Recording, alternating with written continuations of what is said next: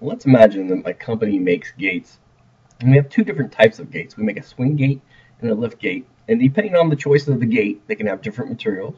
And then depending on the different materials, they can have different widths and heights. So what I've done is I set up a data card inside my SOLIDWORKS Enterprise PDM to reflect this information. I've created edit boxes and attached each edit box to a variable. Then down here at the very bottom, just to show that I can make smart part numbers, I have created an input formula using the different variables from above. So the way to, set this up is I create a, a button and on this button, I connect it to the particular coop number. I'll show you what that means here in a second.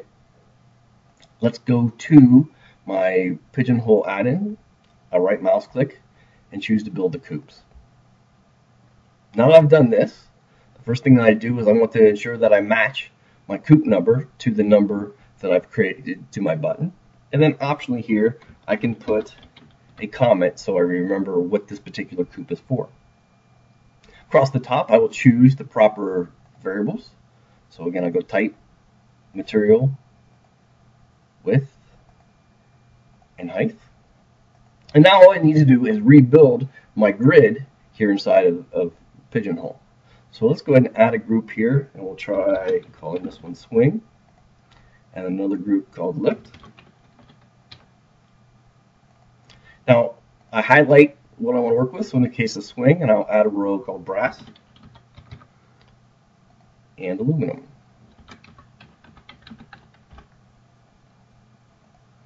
Highlighting brass, I know that I have two different widths, so let's do 8 and 12. And aluminum, I have 8 and 16. So my brass width is 8. Over here we'll do 4. And the 12 is 4 and 5. Aluminums, the 8 is 4 and 6. And the 16, instead of typing all those over again, I'll show you another little trick.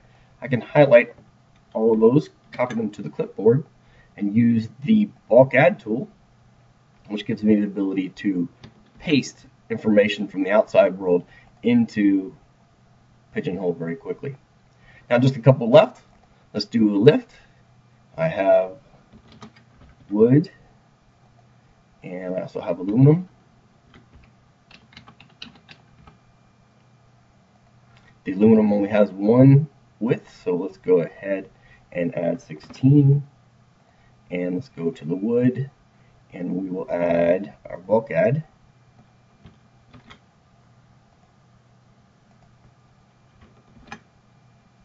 like so.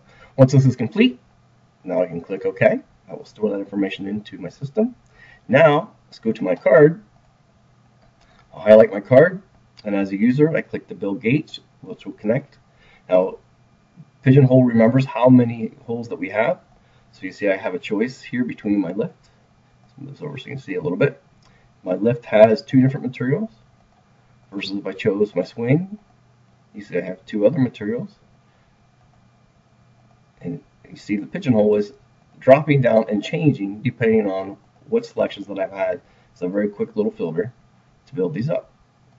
Clicking OK will populate my data card as so. And then just to show you that I can have a smart part number built from there op optionally if I so choose.